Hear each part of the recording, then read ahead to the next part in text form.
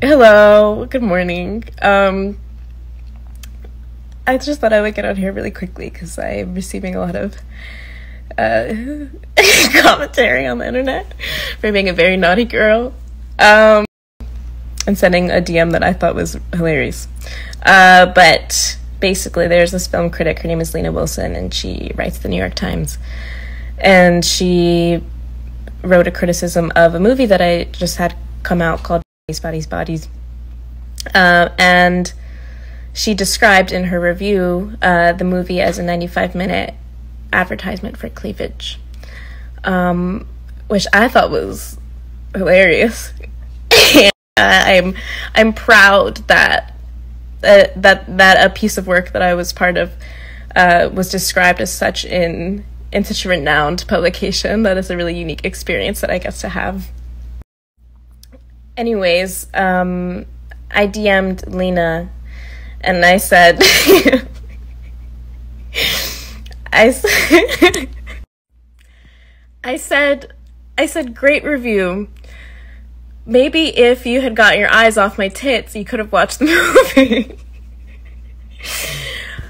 All right, okay, listen. I, I thought it was I thought it was hilarious. I thought because Lena is gay, I am also gay. I thought that as gay people we would both find this comment funny. I was also curious to know what Lena would say to such a statement. But Lena decided to publish it and uh, also says that I am homophobic for saying that. The intention of why I said that, and this is look, this is my experience as an actress.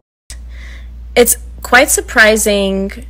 I mean, it shouldn't be surprising, I guess, at this point, but the amount of commentary that I receive on my boobs is so extreme. Uh, and this has happened since I was a teenager. I could literally be wearing a t-shirt and just because of the size of my boobs, um, there will be some sort of sexualization or commentary on my chest. Uh, in this movie, I'm wearing a tank top.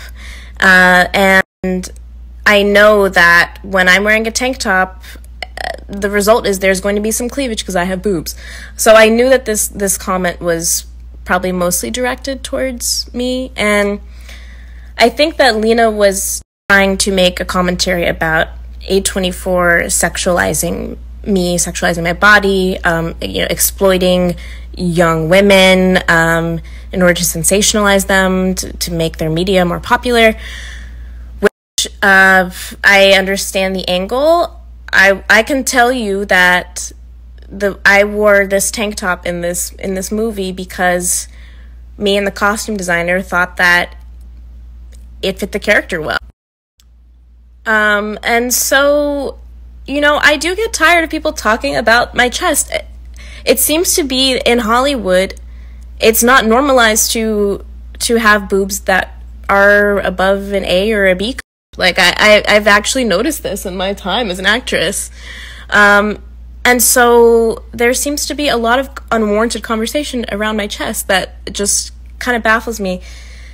Anyways, Lena, um, I thought your review was hilarious. I thought my DM was funny. uh, I did not mean to harass you, do not wish you any harm. You are allowed to have your criticisms on my work, and I'm allowed to have my criticisms of your work. And that is a okay with me. Um, and I wish you the, the best. Anyways, um, thank you guys. Thank any thanks to anyone who has gone to see our 95 minute uh, advertisement for cleavage.